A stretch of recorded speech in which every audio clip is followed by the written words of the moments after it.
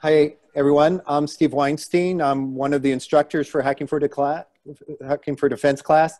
Thanks all for you coming tonight. We really appreciate it because I know I would be remiss, as in last week, in not acknowledging that this is stressful times for all of us. Um, everyone is facing a lot of pressures, along with, for me and others, raw emotions, and I'm personally distressed and angry, but I'm personally hoping that I can make this coming year better and with that in mind, I want to reach out to anybody on this Zoom who might be feeling stressed and need someone to reach out to, to please get in touch with the teaching staff, particularly the H4D um, students, just to know that we're here for you during these times.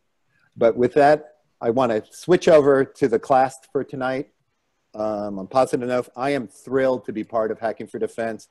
Think about it, this was a team sport. It was done entirely amazingly online and remote. And as you can see by everybody here, you know, I think we're going to have a great evening. So first, I'm going to start off talking a little bit about the agenda. Um, I'm talking for a little bit and telling you, and I'm going to do a bunch of thanks. Um, um, Steve Blank is going to get on and give you an introduction to Hacking for Defense. And then we're going to have three of the eight presentations starting around 4.50 if we stay on schedule, uh, maybe earlier and then um, the talk with um, Joe Felter and General Mattis around 5.30.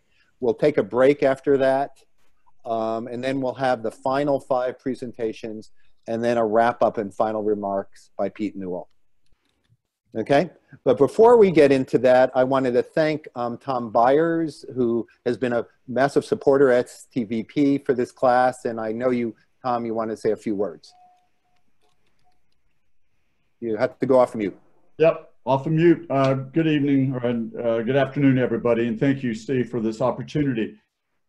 I just wanted uh, people to realize something that uh, this course is got a is put on by MS&E as a department. That's the Management Science and Engineering Department, which I'm lucky to be a professor in, and have been for 25 years. When I arrived 25 years ago, uh, I was mentored by Bill Perry, who had Secretary Mattis's job the year before that and just returned to Stanford to be in our department. Our department's always had a close relationship between and, and connection with both engineering and technology on one hand, but also national security on another. So it's been really pleasing to see that um, in, in, my capacity of being an entrepreneurship professor, that we've been able to connect entrepreneurship to national security because of the work of the people that have been teaching you. I'm talking specifically the Stan, uh, Stanford students who took this class, an amazing teaching team as you experienced. I had the luck of being able to work with Joe and Pete and Steve the first year it was put on. This is the fifth year. And again, it, it, is, it carries on a, a rich tradition that started when Bill Perry came back from the, the, the, Defense Department. And by the way, there was no MS&E when he was back. It was uh, Industrial Engineering Department. He's the one that chaired the committee that created this department that put on this course. So um, it's really, really special to be here. I, I don't know if Bill Perry is on the, uh, the Zoom tonight, or he'll, I'm sure and hope you'll get the chance to, to hear this because we're all here because of Bill. The department's here because of Bill Perry. He was a great uh, advisor to this course as Steve and Pete and Joe were getting it stood up five years ago. And, you know, it's 2020 with all these things going on. But one thing that's really a bright spot in, in the department and for all of us associated with the Entrepreneurship Center is this course and what it means to connect it with national security and, and, and a service kind of mentality, because that's the best kind of entrepreneurship. So thank you very much, Steve Weinstein, for giving me that opportunity. Great. Thank you, uh, Tom. And um, I want to do a few more thanks this evening. Because um, um, even though there are eight teams who you're going to hear tonight, there is a group of over 50 people who have been selflessly dedicating their time to helping these teams, from the problem sponsors who define the problem through mentors, advisors, teaching team, TAs, sponsors, and speakers, all surrounding these teams over these last 10 weeks. And to give you an idea of just who they are, um, we got Steve Blank, who you can hear from later. You know, he co-created Lean Startup. He's the father of Lean Entrepreneurship. He's the co-author of this class, you know, leading the charge with me, myself, Pete Newell, who also was one of the co-authors of Hacking for Defense, as well as been, you know, this bridge between Washington and, and the Defense Department in Silicon Valley. We got Tom Bedecarré, who, um, who's been involved being corralling all the mentors and advisors as well in helping all the students and, um, during the class. We got um, Joe Felter, who you'll hear a little bit later from, who's a fellow at Hoover, but recently returned from the Pentagon. And he's also a co-author of Hacking for Defense. So you have this core team that started this class and, and, and carrying it forward. Um, you have Jeff Decker, who's been rallying around in the background, helping getting the sponsors for the for the students, as well as you know managing Stanford and helping us during this class. We also have an amazing group of course advisors with Arun, Sally, Tom, who you just met, and of course, Bill Perry. So now you have this just from the Stanford side, all of these people working on this. But in addition, every team had a problem sponsor. This is a person who brought the problem to the students, and we have everyone from the Air Force, Army, In-Q-Tel, um, Joint Staff of Staff, Jake, SOCOM, all of these people, thank you. In addition, we had defense mentors. These were people who helped people navigate through the, um, the Department of Defense. You got to remember, many of these students had not known anything about the military or Department of Defense or intelligence community. Thank you all. In addition, we gave th 13 individuals to help the eight teams understand entrepreneurship. This was a group of, of people who've been around Silicon Valley or been helping in lean startup and hacking for defense and dedicating their time all free to each team had their own mentor. Thank you. And then we had military senior advisors who helped, you know, some of the students and helped with some of the problems. Thank you. And, but all of this could not have been possible without our three TAs um, of Nate, Sam, and Valeria all of them who basically corralled 30 plus students, 34 students, 50 uh, other people, all coming in and out of meetings and, um, and coordinated this entire thing. And I will really reach out to you all say thanks a lot. In addition, I, I can't believe it. This year, we were able, Joe Felter gets a lot of the credit for allowing us to have each of these 10 individuals who were part of the class by joining the class and doing a Q&A with Joe. Tonight, we're honored to have General Mattis, but over the last nine weeks, we've had a bunch of amazing individuals. So with that, you could see we had an amazing group of people around these students. But you might be saying, some of you who've never been here before, what is that? How do we get here? And it happened due to our course sponsors. These are people who kind of helped with the finances, helped introductions. We have ONR, who was the primary sponsor, STVP with and, and MS&E at Stanford, NSIN that runs the national program, CMP uh, for Hacking Defense, CMP, Common Mission Project, which is the nonprofit helping um, push hacking for defense worldwide, and then Lockheed Martin and Northrop Grumman. All of these sponsors were helping us put this class on. So together, all of this put on the Hacking for Defense class. But what is the Hacking for Defense class for some of you who don't know? What is the lessons learned presentations and what are you going to see tonight? I hand it off to Steve. Um, thanks a lot, Steve. Uh, you, you know, uh, I thought we'd maybe just spend a minute uh, going through what the class is about uh, um, and what is it you're going to see in the, in, in the next hour or so. Um, next slide. So uh, the goals of the class, we had three. Number one, we wanted the students to actually work on the country's toughest problems and see if they can actually rapidly provide uh, preliminary solutions using something called the lean startup methodology and lean launchpad methodology.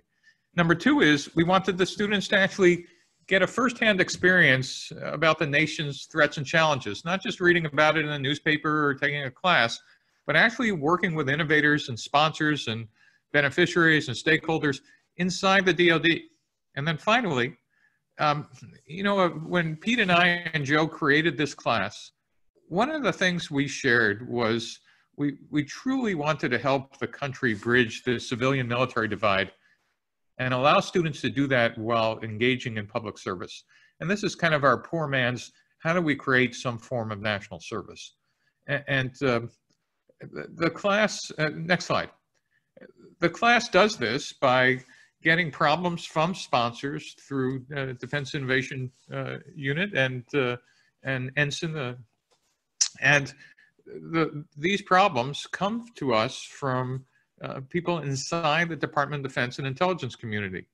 The students look at those lists of problems and form teams before the class, interview uh, to get accepted, and then work on that, those problems by talking to 10 to 15 stakeholders, customers, beneficiaries, regulators every week next. And they have to build what's called the minimum viable product, which some of you might think of as a prototype, but sometimes could just be show me a, you know, a spec sheet or show me a problem statement or show me a wireframe or actually build me some hardware or software or, or build a physical cardboard device that shows me weight or size or something else. Uh, and every week or every couple weeks, we want to see some progress, not just on who did you talk to, but how did they react to when you put something in front of them. And how we teach it is what's called the what's called the flipped classroom.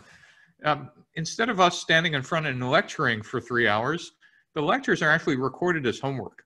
Um, and what's typically homework, do a bunch of stuff outside the class, is while they do those interviews out of, outside the class, they have to present what they found to the teaching team every week. And so there's kind of a, a, a almost a repeatable pattern of every week, uh, tell us what you thought, tell us what you did, tell us what you found, and tell us what you're going to do next week. Next slide. And so the journey is about learning and discovery, not how smart I am at the end of this class, which is what some of you might be familiar with as a end of class demo day. You know, that's kind of like a beauty contest. We're more interested is how did these students get to this conclusion and what did they learn and how did they learn it? So next. So what is this lessons learned presentation? Remember, you're going to see eight of them. Um, and they'll be in the format of uh, uh, teams have done a two minute video, which either have some explanatory material or, or uh, something about their journey, and then an eight minute PowerPoint presentation live as they'll present. Next. So as I said, it's a summary of what the teams learned in 10 weeks of the class. And by the way, and, and even though they didn't expect it, what their sponsors learned while the teams were learning. Because as you'll discover is sometimes the problem is given sometimes turns out to be just a symptom of the problem or sometimes turns out to be the problem is a little more complex. Next. And they're going to do this using what we call the lean startup methodology. And for those of you in the DoD, lean in, in, in the context of this class uh, doesn't mean uh, less billets. It actually has a formal meaning of a methodology I'll explain in the next three slides. Uh, so remember, the students are starting with tough problems given to them by the Department of Defense. Here were the eight problems that the eight teams you're going to see were working on this quarter. Um, and you'll hear each one of them talk about the problem as given as day one and then what they found for the next 10 weeks. Next. Now, what's really interesting is that we kind of tell them you're starting with a problem, but instead of just jumping into a solution, why don't you think through all the things necessary to actually solve that problem and not get to a demo, but to get to deployment. And I think that's just one of the differences of the class is, well, we're interested in finding mission solution fit, that is that connection between who the beneficiaries are and what they could build to solve the problem. We're also interested in is what's it going to take to get it into the hands of those people? What kind of funding, um, you know, how does it become a program of record? Where do you go next, etc. But all these things on day one, next, are just guesses. And we use something called the mission model canvas to kind of articulate what all these guesses or assumptions or hypotheses are on day one. And so you're going to see in multiple, uh, in almost every presentation, multiple mission model canvases, which are just kind of like scorecards of here's what we're thinking and here's what we're learning at this point in time in the class. And what's very interesting is to see that canvas evolve as the teams get smarter. Next. But one of the things we've recognized is, you know, on day one, you could write all the things you want as a set of requirements or potential solution and, and assume you are the smartest person in the room. But what we discovered is there's no possible way to be smarter than the collective intelligence of potential users and beneficiaries and stakeholders. And so therefore that means there are no facts inside the building, so the teams needed to get the heck outside. And by getting outside, next, Steve, um, they're going to use a second part of the lean methodology, which is called customer development. And customer development is just a formal way to run experiments to test these hypotheses outside the classroom. Now, uh, next. Now, this is hard enough to do in a regular class when they physically can get out and visit aircraft carriers or, or uh, forward operating bases. Last year, some a team in the middle of, uh, of the semester literally got on an airplane and flew out to the DMZ and, and personally interviewed uh, customers in the mi middle of, uh, of Korea. But, but this time, this class had a handicap of having to do this customer discovery all via Zoom. Just an amazing uh, set of activity.